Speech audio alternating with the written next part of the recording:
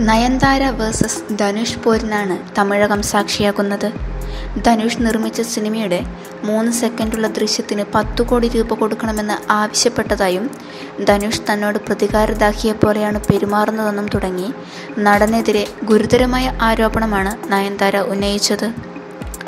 ധനുഷ് വിഘ്നേഷ് ശിവൻ പ്രശ്നമാണ് ഇതിന് കാരണമെന്നായിരുന്നു പൊതുസംസാരം. അതിൽ നടനും യൂട്യൂബറുമായ അനന്തൻ പറഞ്ഞ കാര്യങ്ങൾ ശ്രദ്ധേയമാവുകയാണ്.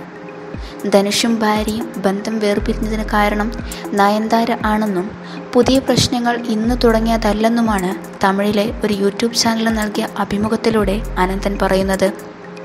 വിഘ്നേഷ് ശിവൻ നയൻതാരയുടെ ജീവിതത്തിൽ വന്നതു മുതൽ ധനുഷിന് ഇഷ്ടക്കേടുകൾ ഉണ്ടായിരുന്നുവെന്നും അനന്തൻ പറയുന്നു.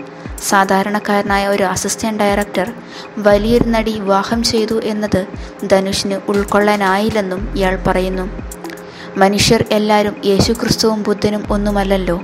ഇത്രയും കാലം തന്നോട് അടുപ്പത്തിലായിരുന്ന ഒരു നടിയെ പെട്ടെന്നൊരാൾ വന്ന് തട്ടിയെടുത്തതുപോലെയായി. അതിന്റെ ഒരു ദേഷ്യമുണ്ടാകും.